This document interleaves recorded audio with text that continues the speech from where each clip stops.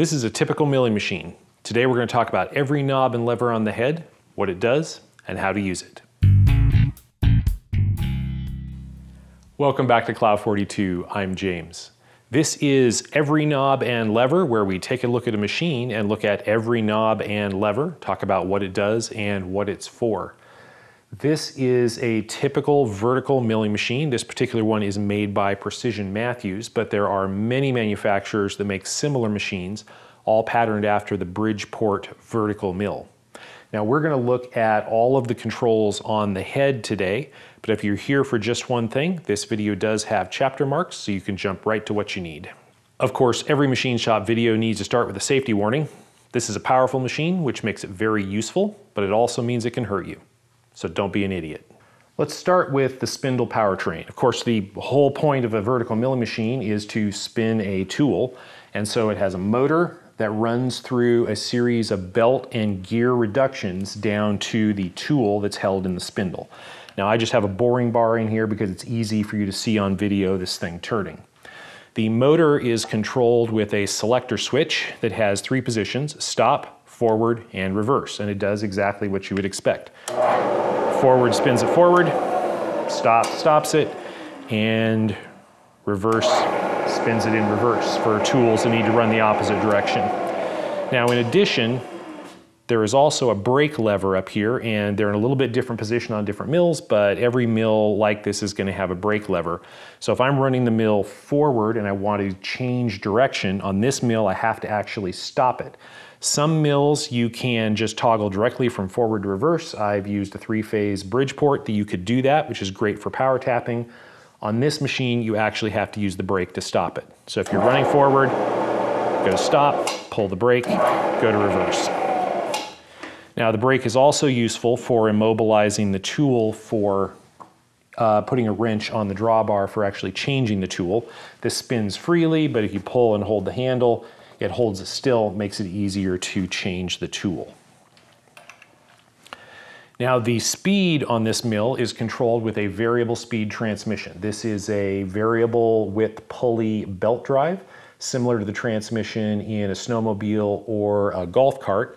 And you change the speed by turning this crank and there's a little readout here on the front that tells you approximately what speed it's turning. Now you can only adjust this while the spindle is turning. So if we put this in forward, we can adjust this slower or faster. Now, some machines have step pulleys where you actually have to change the belts. Some machines will have a variable frequency drive, but these crank ones are very common on variable speed mills. Now because this is actually changing the belt ratio, you do get torque multiplication when you run slow. The VFD, if you run the machine slow, you don't get very much additional torque, if any. But on this kind of a machine, if you run it slow, you're getting torque multiplication in addition to the speed reduction. Now, if you need to run even slower, this machine runs down to about five or 600 RPM, maybe seven or 800 practically. If you need to run slower than that for a larger tool or if you need more torque, this mill is equipped with a back gear. Press this knob in, rotate it around to the rearward position. You might need to grab the spindle and twist it in order to get the gears to engage. That puts it into back gear and gives you additional reduction. So this can run down, on this particular machine, down to about 70 RPM. Now this gives you enormous amounts of torque, but the thing to remember is that when you have it in back gear, it changes the direction of spindle rotation. So if I switch this to forward, you can see that the spindle is actually turning backward. So if I want to go forward in back gear, I have to select reverse. And this always bites somebody at some point. They put a big drill or an end mill in here and start milling and cannot figure out why it is not cutting properly. It's because they forgot and they're probably running the tool backwards and dulling it. Now the back gear selector lever also has a center position that it will lock into and this is a neutral position so the spindle is free to turn. This is really handy if you have like a dial indicator in here and you're trying to center up on a part. Uh, but keep in mind that when it is in neutral, the brake is going to have no effect because the brake is connected to the powertrain above the gears for the back gear selector. Of course, now that we've got a spinning tool, we need a way to move it vertically. Now this is commonly used uh, while machining for things like drilling and boring, or it's just used to set to a particular height to take a cut. And you do that with the quill locked. So the quill is locked in position by this lever. And all this does is it has a couple of pieces of brass that are milled out to fit against the curved sides of the quill. The quill is running in a precision bore, and this just squeezes against it to lock it into position. When you are milling horizontally, you definitely want to have the quill locked. Now, this particular machine has what's called a speed handle on the quill. And what that means is that I can take this lever and this you know, moves the quill up and down when it's unlocked, but if I lock the quill in this position, I can also move the lever out and I can rotate this freely without moving the quill. So if I have a situation where I'm pulling down, I'm trying to drill right here, this is inconvenient. I can just unlock this, move it around, and now I have the quill in the position I want and I have the lever in a more convenient space. Now this is an add-on. This did not come with the mill. The mill came with a lever that just has a pin that you can sort of pop in and out. It's not super convenient, so I added this to the mill, and these speed levers are available for pretty much every model of mill on the market. Now, if you want to, for example, drill down to a specific depth and stop, this mill has what's called a micrometer depth, depth stop. There is a, a scale here and a little micrometer dial here where you can set a hard stop for the quill. So when it comes down, it hits that position. And so if you've got a quill DRO or if you're measuring and working uh, from touching off and then moving a particular distance, you can set up a stop you can adjust this just by turning this little micrometer dial, and then there's a lock ring you can screw up against it if you want it to stay in position for repeated operations. And that gives you the ability, like if you're drilling a bunch of holes and the need to go to a certain depth, you can set a stop so that you always go and stop at that same depth. Now this machine, like many in its class, is equipped with an automatic quill down feed that will allow you to configure the machine so that the quill feeds automatically into the workpiece as it's turning. You select how far you would like it to advance per revolution and it will mechanically do that for you. Now this is useful for heavy drilling operations and it's also useful and primarily in fact used for boring where you have a single point tool and a boring head and you want to make a smooth advance down through a bore. Now, when this is engaged and you run the machine,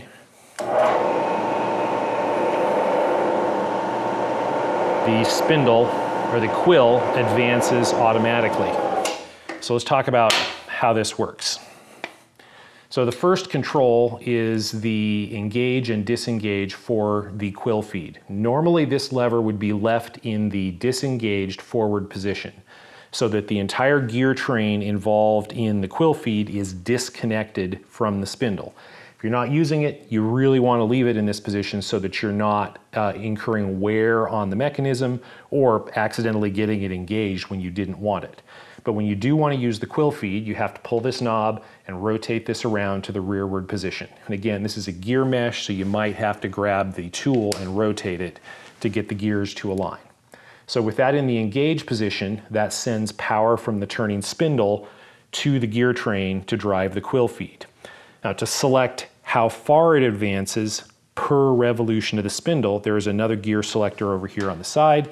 And again, you just pull the knob, you may have to turn the tool to get the gears to mesh, and you can move this to one of three different positions to control how far the spindle, excuse me, how far the quill moves per revolution. And this one, there's a lot of gear reduction here, so you may have to make multiple revolutions of the tool and the spindle in order to get the gears to engage to change the down feed rate.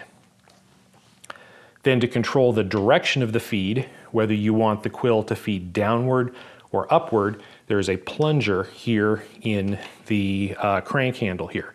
So if you push it in, it will feed down if you pull it out, it will feed up.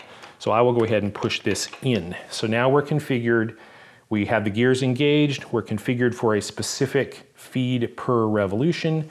We are configured for down feed. And the last thing we need to do after we unlock the quill, you want to do this with the quill unlocked, is pull this lever out to engage. So if this is just running, nothing will happen because the action, the, the gear train is running through to the handle, but the um, quill is not actually advancing. To actually advance, you pull out this lever and it starts advancing. When you are done, hit that lever and it stops. And of course, to run the other direction, you would pull this plunger out. And of course, you would start from lower down. We go forward, and now the quill is moving upward. And again, you just hit the lever to stop it. So if anything goes wrong, you just smack the lever. Now this machine does have an overload clutch, so if you actually run this physically into something that will stop it, the idea is that the clutch should disengage the feed. Don't do that. Yes, it's there to save you in the machine, but uh, you do not want to test safety features like that.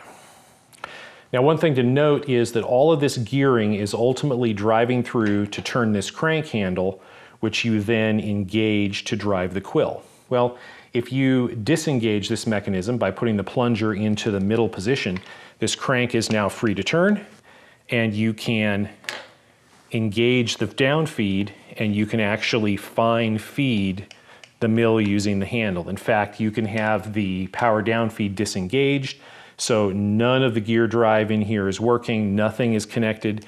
You've got this in the neutral position and this gives you a way if you want to do a precision down feed, either while milling or just to set up the machine, you can engage this and then you can use the crank to finally adjust the position of the quill and block it in position for a milling operation, or you can actually use this for fine feed for drilling or for fine feed for boring if you want to control it manually instead of using the power feed. Now what may not be obvious is that the quill feed actually has an automatic stop feature as well. What you may have noticed is that this threaded rod that the micrometer stop runs on is actually free to move vertically. And the reason for that is because this is tied into a mechanism to automatically stop the quill feed. So when this goes down, there's a lever in the casting down here that this pushes down and it pushes up on this rod, which then disengages the quill feed. So if I have this engaged and I am running this manually or under power, as the stop comes down here and hits this rod, it will push it downward, which will push against this lever, which will automatically disengage the feed. So if I just feed down into it, it automatically releases this lever and releases the quill. And exactly the same thing will happen if I do that under power.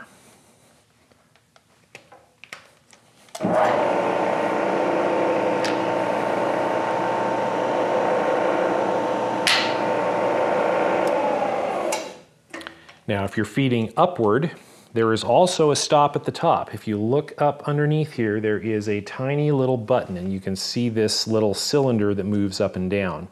And inside the casting, it's inserted through the hole under this screw cap, there's a tiny little barbell shaped lever so that when the stop comes up and actually hits this lever and forces it up, that then forces the screw down. And so you get the same effect. It hits the top, that lever forces the screw down, which through this lever causes this to, to trip. And so you can get the, exactly the same thing in the up direction, feeding upward, it'll hit that and it will pop it out. Now this takes a lot of force and there's a tremendous amount of force on that tiny little barbell in there and it is very common for those to break. So you probably don't really want to trust this. It's not an adjustable stop in the upward position. You probably don't really even want to trust it in the downward position because the manufacturer does not make guarantees about the accuracy. On this particular mill, Precision Matthews claims only uh, within 100 thou, a tenth of an inch, which is uh, a pretty wide margin. So you really want to feed manually against the position if you have a, a fixed depth that you want to hit. But of course, you know, that also works if you are feeding under power as well.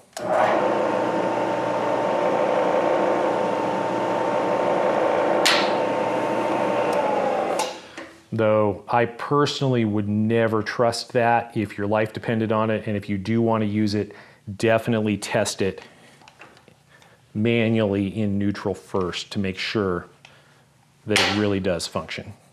And that is every knob and lever on the milling machine head. There are actually some clamp bolts and some worm screws that are used for tilting the head and tramming in the machine, but tramming a milling machine is a topic for another day. This video is a little bit of an experiment for me. If you like this format, let me know by giving it a thumbs up down below and leave me a comment. Let me know what you liked about it. Let me know what you didn't like about it. If you have ideas for topics for future videos, throw those down in the comments. I'd like to hear them and I'd like to hear what you think. Thank you for watching.